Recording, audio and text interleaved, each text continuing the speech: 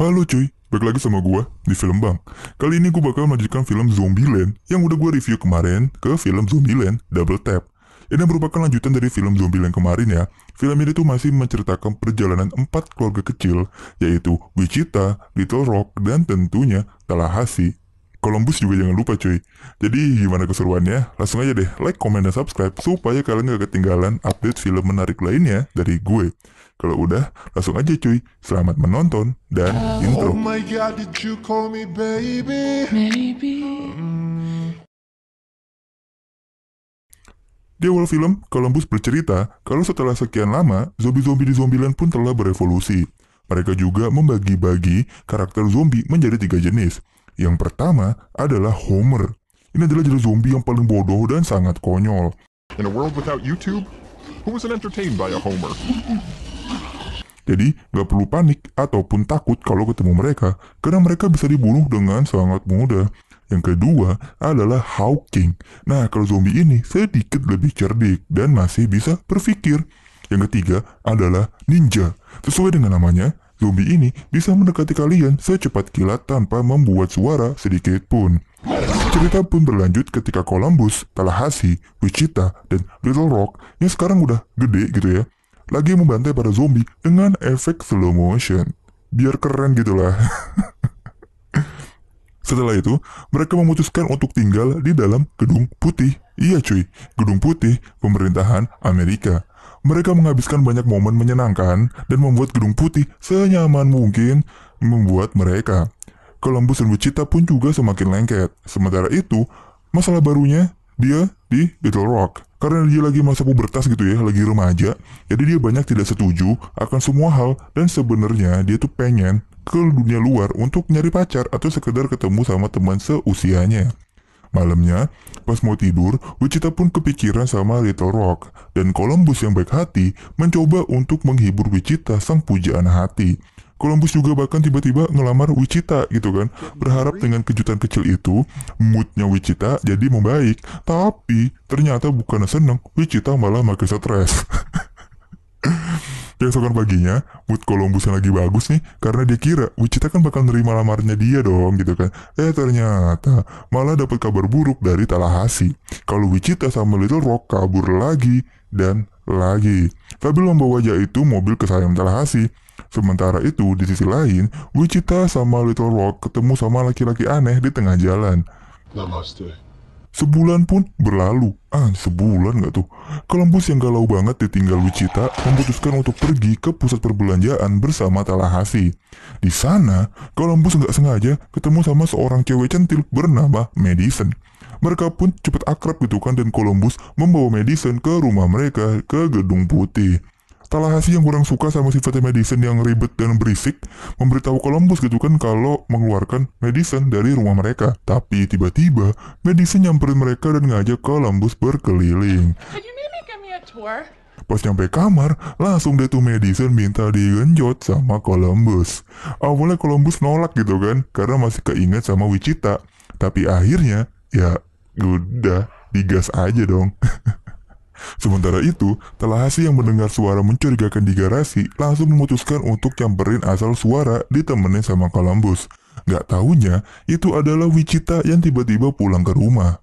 Wichita pun cerita kalau Little Rock kabur sama cowok aneh yang ketemu sama mereka di jalan yang namanya Berkeley. Tallahassee pun marah banget setelah dengar asal usulnya Berkeley cuy. Singkat cerita, Little Rock itu cinta dan kabur bersama Berkeley, ninggalin Wichita sendirian di tengah jalan. Wichita juga cerita kalau katanya di luar sana ada jenis zombie baru yang lebih kuat, lebih cepat, dan jago memburu. Tallahassee dan Columbus pun tidak percaya sama omongannya Wichita. Wichita pun ngobrol empat mata nih sama Columbus dan meminta maaf karena udah ninggalin dia gitu aja. Kata Wichita sih dia shock banget ketika dilamar sama Columbus. Dan ketika mereka baru aja berbaikan, eh Madison tiba-tiba muncul dan minta digeprek lagi. Langsung deh, Wichita auto marah gitu kan. Keesokan paginya, mereka bertiga memutuskan untuk pergi menyelamatkan Little Rock. Tapi Wichita cuma nemu minivan sebagai kendaraan mereka. Dan entah kenapa gitu ya, Tallahassee benci banget sama minivan. Pas mereka udah mau berangkat, Eh si Madison minta ikut segala nggak tuh? Di jalan, Madison pun mencoba akrab dengan Wichita dengan mamerin cincin yang dia temuin di kamar Columbus. Ya, dia nggak tahu padahal itu cincin adalah cincin lamarannya Wichita kan. Mereka pun menemukan sebuah bus keren untuk dikendarai dan langsung aja Tallahassee memutuskan untuk berganti kendaraan. Selama mereka berjalan kaki, Columbus berusaha menyakitkan Wichita kalau dia dan Madison enggak ada apa-apa. Ya Madison cuma jadi pelarian aja gitu kan. Setelah mereka sampai di tempat bus, dengan konyolnya, Madison yang gak waspada sama sekali malah langsung buka pintu bus dan ngebunyiin alarmnya. Langsung deh para zombie menyerbu mereka dari segala arah. Di sini, Columbus langsung naik ke atas bus buat ngasih arahan sama Wichita dan Tallahassee yang nembakin dari bawah.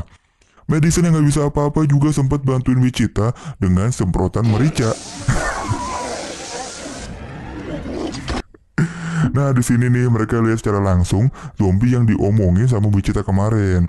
Zombie ini nggak mati-mati walaupun udah ditembak berkali-kali. Tapi akhirnya mati juga setelah kepalanya diinjek sama Tallahassee. Mereka pun namain zombie ini T-800, jenis zombie yang paling mematikan.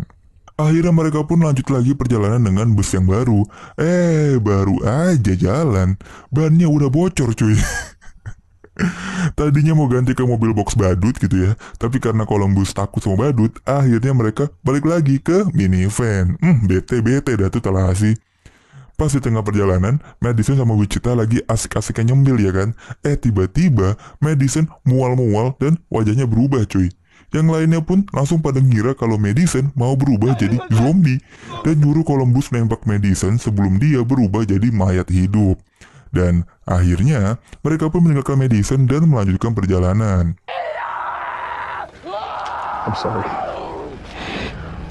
Malamnya, mereka pun sampai ke Graceland, tempat di mana mereka mengira kalau Little Rock itu berada. Tapi ternyata mereka tidak menemukan apa-apa, yang akhirnya tetap kembali melakukan perjalanan mereka. Sampai deh mereka ke sebuah hotel kecil yang ternyata di sana ada mobil kesayangan Tallahassee. Besar harapan mereka buat nemuin Little Rock di dalam situ. Tapi ternyata kosong. Kok kosong? mereka malah ketemu sama Nevada, pemilik tempat tersebut. My name's Tallahassee. Nevada. Kata Nevada, Little Rock udah pergi beberapa hari yang lalu sama Berkeley. Sementara di sisi lain, Little Rock dan Berkeley sampai di tempat yang bernama Babylon. Tempat ini, orang-orang pecinta damai berkumpul cuy. Jadi siapa pun yang masuk ke situ, senjata mereka harus dilelehin dan harus dihancurkan. Keesokan harinya, Nevada kedatangan tamu yang dengan sengaja parkir truk gedenya di atas mobil kesayangannya Tallahassee cuy. Ngelihat mobilnya rusak, Tallahassee pun marah banget gitu kan. Kedua orang ini adalah Quirk dan Flagstaff. Lucunya, dua orang ini adalah tiruannya Tallahassee dan Columbus. Mirip banget cuy, parah. Pas mereka lagi santai minum-minum di dalam bar, tiba-tiba truk gedenya Quirk itu diserang sama tiga orang zombie T-800. Quirk sama Flagstaff pun yang sombong banget nih, dengan percaya dirinya mau ngelawan zombie-zombie itu sendirian cuy. Mereka pun berhasil melumpuhkan zombie-zombie tersebut. Tapi ternyata Quirk sama Flagstaff udah kegigit dan langsung berubah jadi zombie. Terjadi baku hantam antara Columbus dengan Flagstaff dan Tallahassee dengan Quirk. Yang akhirnya, karena dibantu oleh Nevada dan Wichita, mereka berdua pun berhasil dilumpuhkan. Hasta la vista, baby.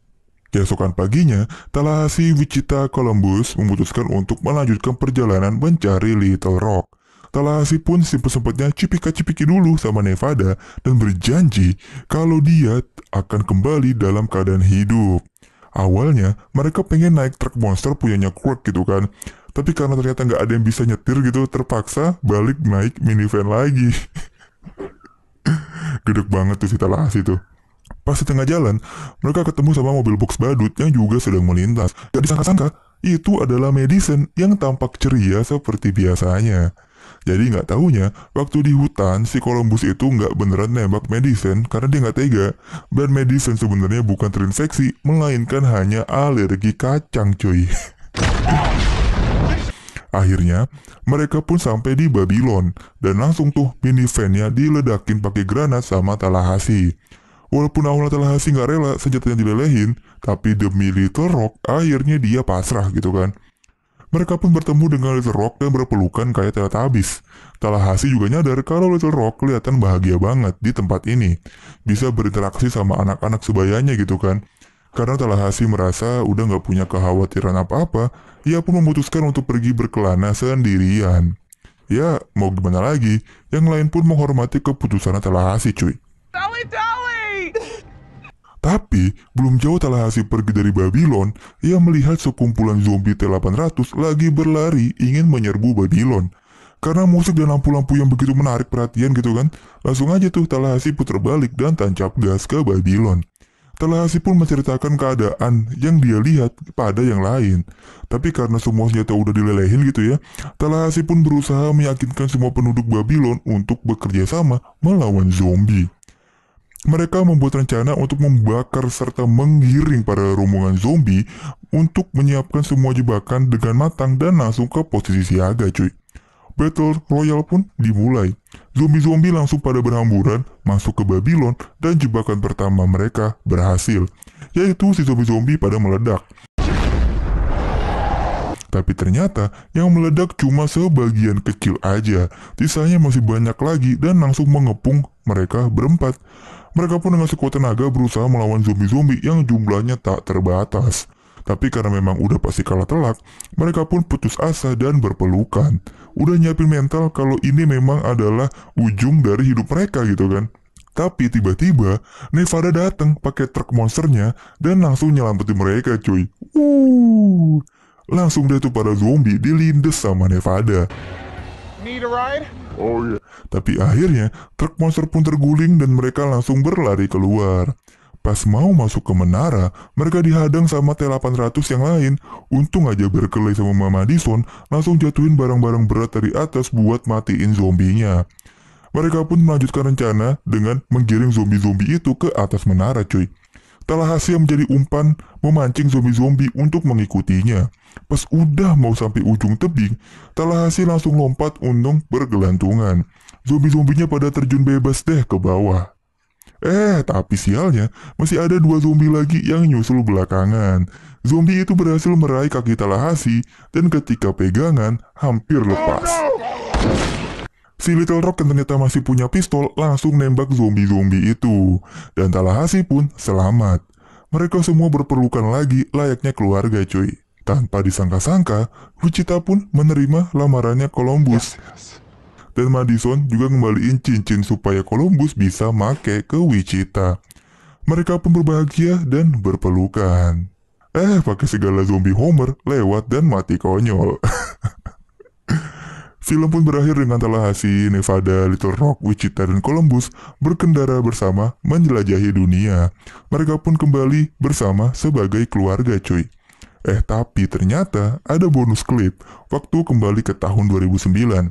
Awal zombie menyerang Amerika. Bill Murray lagi menghadiri sebuah talk show nih. Eh tiba-tiba presenternya langsung muntah-muntah dan jadi zombie. Langsung aja tuh digebuk sama Bill Murray pakai kursi. Dan begitu Bill keluar studio, ternyata keadaan di luar udah parah banget. Tapi dengan mudahnya, Bill mengalahkan semua zombie-zombie itu cuy. Uh, keren banget ya. Buenos tardes, señorita. I hate Mondays. Dan itulah seluruh cerita dari Zombieland Double Tap. Gimana filmnya? Apa pun terjadi, keluarga adalah tempat yang sebenar-benarnya untuk kembali.